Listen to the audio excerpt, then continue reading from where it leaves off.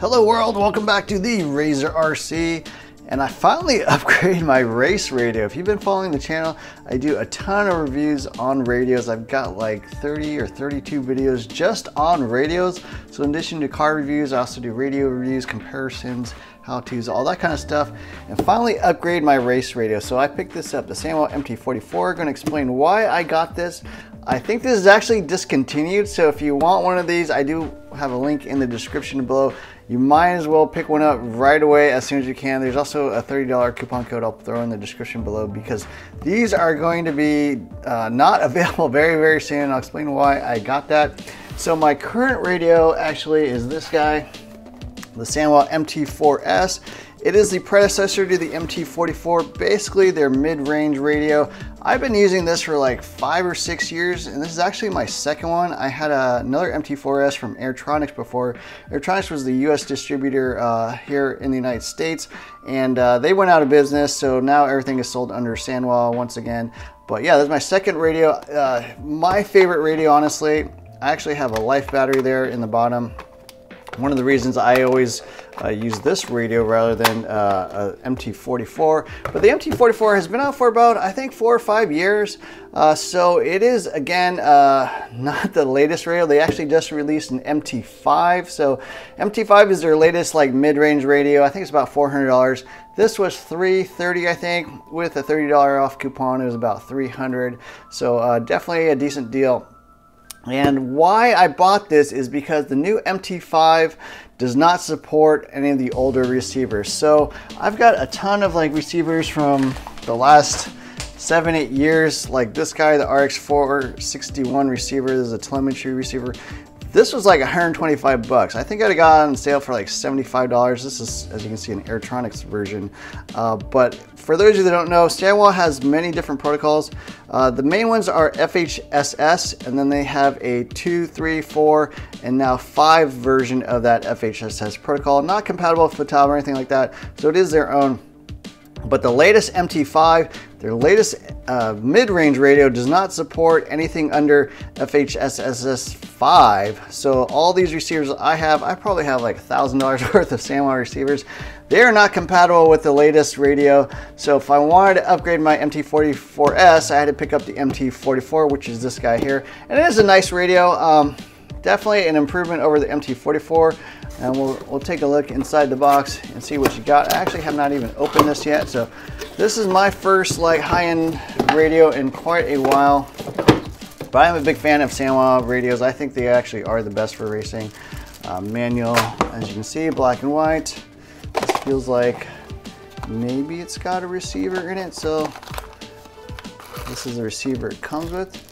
RX482, very nice receiver. So the thing to note with Sanwa is the reason the new radios no longer support the older, older protocols is because there are Chinese, you know, basically clones of these receivers. So these receivers from Sanwa have always been super expensive. They were starting starting at about $75, I think, for the, the faster ones and going over $100. And then finally, uh, some company out there reverse engineered these receivers, are able to sell them you know, something like this for about 40, 50 bucks. So I actually have a few of the clone ones and then I got a bunch of real ones.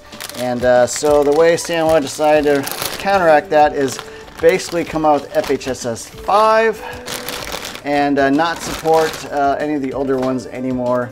Um, so that is a problem for people like me who have a lot of the older receivers and don't want to spend another thousand dollars upgrading all my receivers. So here's the radio you know, as you can see, a little bit different than the uh, MT4S.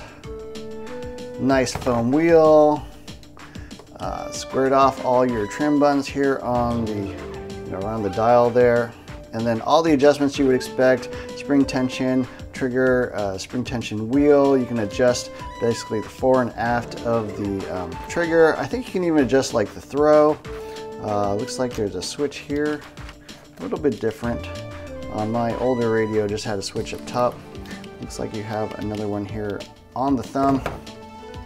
The display is a lot nicer, it's higher end. The, you know, basically the handle here is collapsible now. So you can fold it up and down. Looks like this power switch. Uh, still a similar uh, radio. Does have a smart card.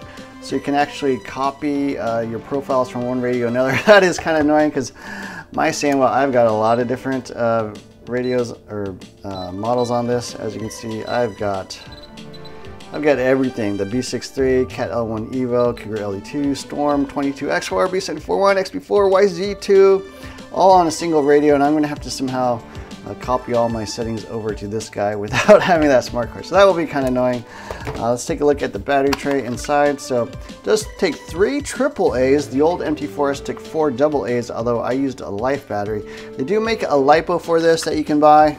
Um, I think Protek makes an edition. It's like a 1S LiPo. So I will pick one of those up and uh, be running that because I don't really like running uh, double A's or triple A's. Dial up here. Oh yeah, so nice little radio. Okay, we got some batteries plugged in, so we're gonna take a quick look at what this looks like uh, turning on. So the power switch, nice little display, powers on. Super high resolution uh, screen. This is much better than the old MT44. Uh, so this is kind of your status. It shows you your steering, and then I guess all your different settings. Uh, as you turn the throttle or pull the trigger, you can actually see what the actual values are being sent. You got your telemetry here over to the side, so that is the 3.7 volts of the radio. Lap timer, and I don't know what these are, probably trims. Maybe, we'll see.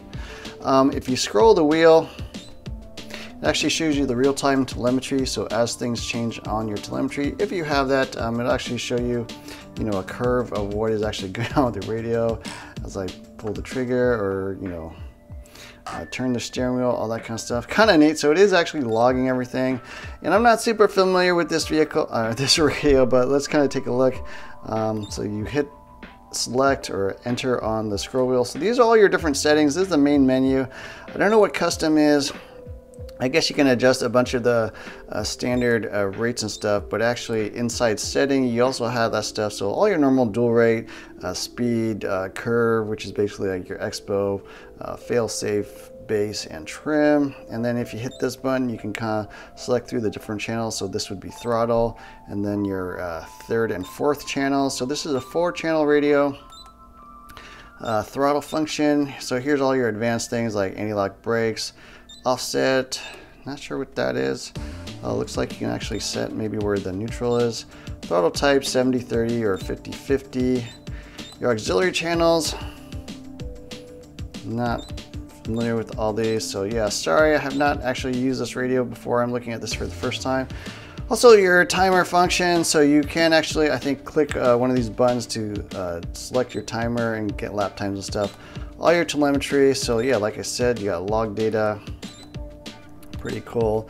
Um, it does also have like battery voltage, temp sensor, RPM, all that usual stuff. All your model selections, so if you want, you know, I think it holds up to, I don't know, 20 or 30 different models, so a lot of different models. And the system is your main thing, so binding, you can you basically program all these keys to do different things. Um, I don't know, auxiliary type, I guess, yeah, well, you want, you know, the flip of a switch to be a step function or an on-off thing or to hold, all that kind of stuff. R mode, I think, is like some Sanwa um, advanced uh, performance uh, steering stuff. Battery, okay, so you can, yeah, select different types of batteries, nickel metal hydride, which uh, you probably don't want to do because it's going to complain that your battery type is wrong. You know, all your different uh, limits, buzzer, so you can actually adjust like the sound of the beeps. Lots of different beep selections. So two is like the normal beep, but you can change sound of that. Lots of different stuff. I think even like, um,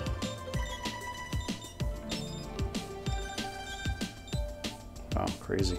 yeah, a lot of control of this thing.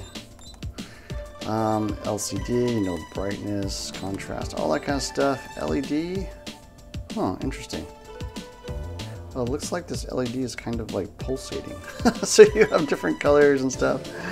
Set up the clock, the time. As you can see, I think this came out in 2016. So this radio is not new, but uh, um, it's pretty cool. pretty nice radio. Certainly one of the higher end ones out there. So yeah, that's kind of a brief overview of the Sanwa MT44. Sorry I don't have a full um, walkthrough of all the different uh, settings and stuff. I did just get this, so we'll be transferring it over and looking forward to using this. Honestly, for race radios, you don't need all that functionality for the most part, steering, throttle, but having all those curves, speed, settings are really nice. Also the high performance of this. A lot of people think Sanwa are kind of the most uh, in sync with the car where you feel kind of like one-to-one -one with the car. You feel like very dialed. In my opinion, that is true. I've used a lot of different radios. I also have a Futaba 4PM. I also have a Spektrum DX5C. Lots of radios, and this to me is like the best, you know, sort of race radio available at the moment. Uh, so yeah, anyways, we'll throw down a link to where you can pick one of these up. If you do want one, I do highly recommend you buy these very soon. Uh, if you look at the uh, Sanwa website in the US, I think it's Serpent America. Uh, they are the US importer. They don't even show this radio anymore, so you can't even buy these.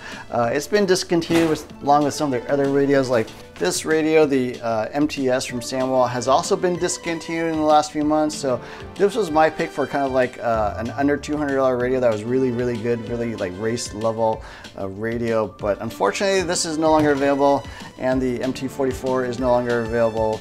So uh, yeah, I think the real reason is Sanwa is trying to get everyone to use their FHSS 5 stuff, uh, which they don't have clone receivers for, so that can kind of break the uh, aftermarket or third-party market for their receivers. Allow them to continue to sell their Sanwa branded receivers for make a, you know, reasonable profit margin on those. That's my opinion, but yeah, anyways, I hope you enjoyed this video. Uh, don't forget to hit the like, share, subscribe, add notification buttons. Look for more videos soon. Thanks for watching.